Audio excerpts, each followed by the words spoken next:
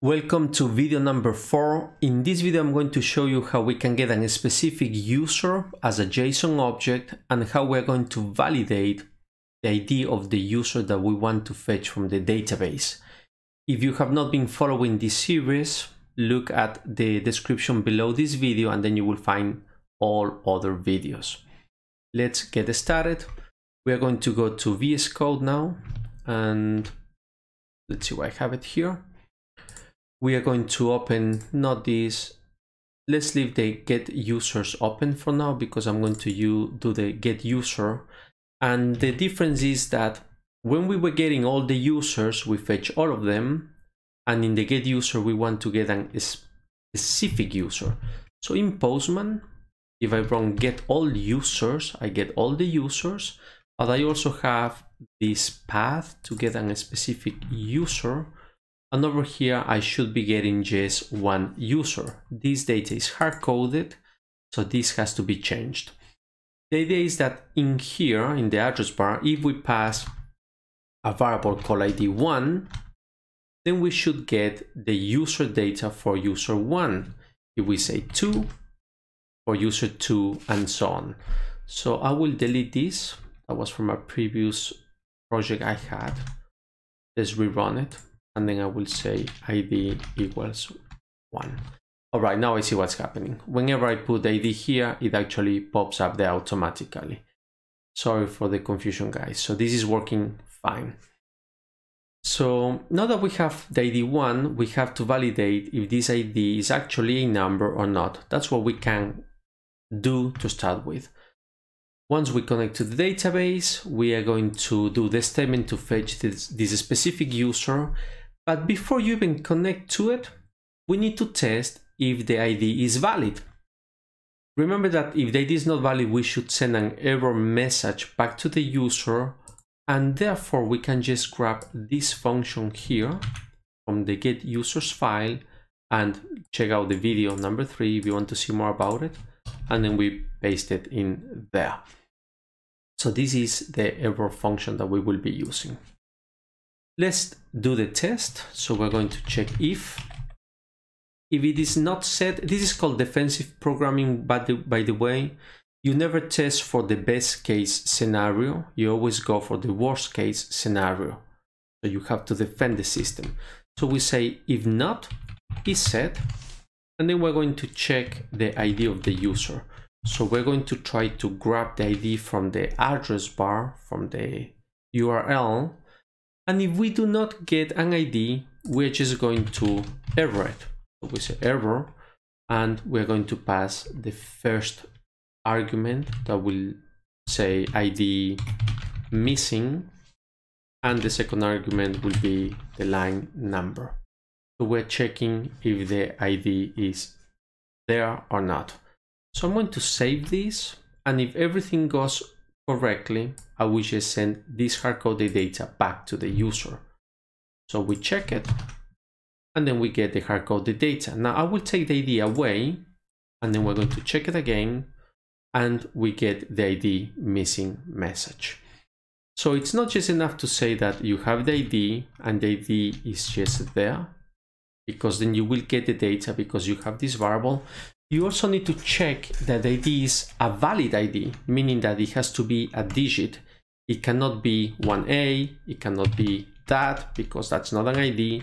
It cannot be that because that's not an ID. An ID should not contain letters. Well, at least for now that we're doing this with MySQL or MariaDB. In other databases, the ID could be an alphanumeric character. So we're going to check that the ID is a valid number. Not the length of it, because an ID could be 1 as it could be 9999. We don't know how many users we will have in the system. We just have to check that it is a number. To do that, PHP has a nice function. It's called ctype digit. So we're going to say if not, ctype digit, and then we're going to pass this ID. This is just saying that if the ID is not only numbers, we're going to send this error message. So we're going to say that not ID is not is missing, but we'll say ID not valid. we send that back to the user. Let's try it. We go to Postman. If we send one, that's a valid ID. If we say 1A, the ID is not valid. If we say A1, the ID is not valid. If we say 9999, it's valid. So that was the validation process of it. Then we connect to the database. So we do not waste computer resources. In here, we're going to do the try catch, as I have previously explained. And why not?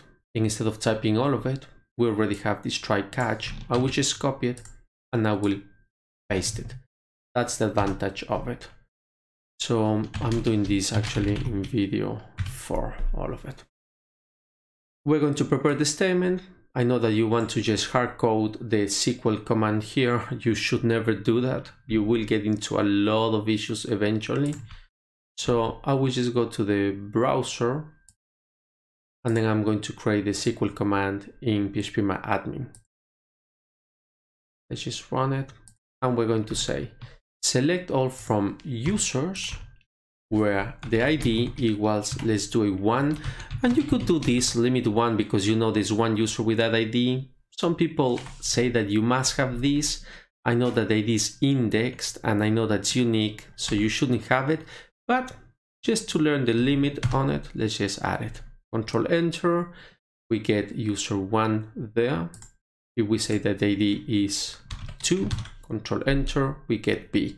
So this is the command we need to use. Therefore, I copy it and I will paste it in VS Code. Select all from users the ID equals, and now I'm going to show you something.